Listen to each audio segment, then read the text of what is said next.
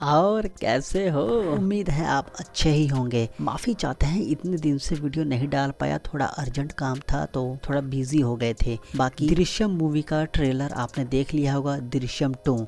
दो अक्टूबर की कहानी दोबारा रिमाइंड हो रही है ना?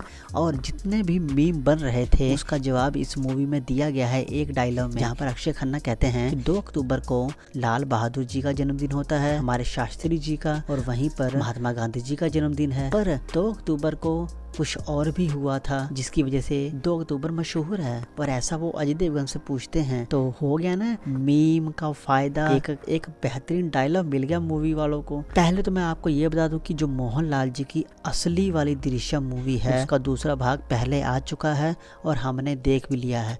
हमको पता है क्या होने वाला है, पर क्या चेंजेस ये करेंगे, क्या ट्विस्ट ये अपनी तरफ़ से कोई डालने की कोशिश करेंगे, हम तो चाहते हैं कि ना ही करें। कि जब जब इन्होंने किसी फंटेस्टिक सी मूवी के बीच में अपना दिमाग लगाया है रिमेक वाले में तो मूवी का बेड़ा गड़क हुआ है। तो हम नहीं चाहते कि दृश्यम जैसी बेहतरीन कहानी वाली मूवी के साथ कोई छेड़खानी की जाए और की भी नहीं गई है जितना मुझको ट्रेलर में देख के लगा। और अगर आपने ट्रेलर देखा होगा तो लास्ट में जो कन्फेशन है अजय देवगन का वो सबसे बड़ा टर्निंग पॉइंट होने वाला है इस मूवी में। भाई साहब आपके होश उड़ जाएँगे। मैंने बोला ना मैंने मोहनलाल जी वाली दृश्यम टू देख रखी है मुझे मालूम है। कि वहाँ पर क्या धमाका होगा। और सबसे बड़ी बात ये मूवी आपकी सोच से बहुत ज़्यादा अलग होने वाली है बहुत ज़्यादा। मैं आपको यकीन दिलवाता हूँ कि जब आप ये मूवी देखोगे तो इसके आखिरी मिनट तक आखिरी मिनट तक मतलब आखिरी 10-15 मिनट तक आप सोचते रहोगे कि भाई साहब क्या हो रहा है? क्या चल रहा है पूरी मूवी में? हमको कुछ बताओगे? बाद में फिर दृश्य मूवी धीरे से अपना फंटेस्टिक वाला क्लाइमैक्स आखिरी 10-15 मिनट में उतारेगी ज़मीन पर और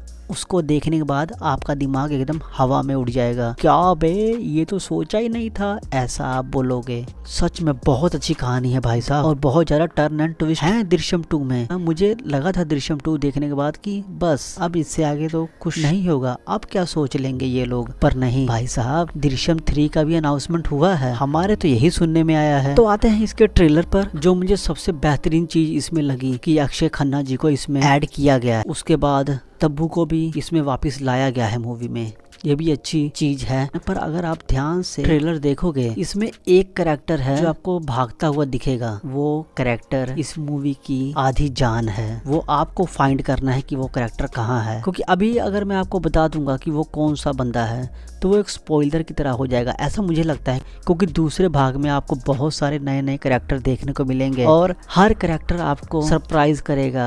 भाई साहब, बहुत ज़्यादा सरप्राइज़ करेगा। जितना ट्रेलर में दिखाया नहीं है, उससे ज़्यादा मैंने आपको डिटेल दे दी है। क्योंकि मैंने ओरिजिनल देखी है। तो अब तो बस इंतज़ार है मूवी का। कहा जा रहा है कि नवंबर में मूवी आएगी। अगर आएगी तो मज़ा भी आएगा। मूवी आएगी तो हम आपको बढ़िया वाला रिव्यू देंगे। क्योंकि हमने ओरिजिनल देखी है। कंपैरिजन नहीं करेंगे। क्योंकि फ़िलहाल बॉलीवुड में रिमेक यानी कि एक बावासीर। बावासीर होने पर आदमी थोड़ा सा भी बैठे तो दर्द होता है ना एकदम झटका लगता है करंट सा।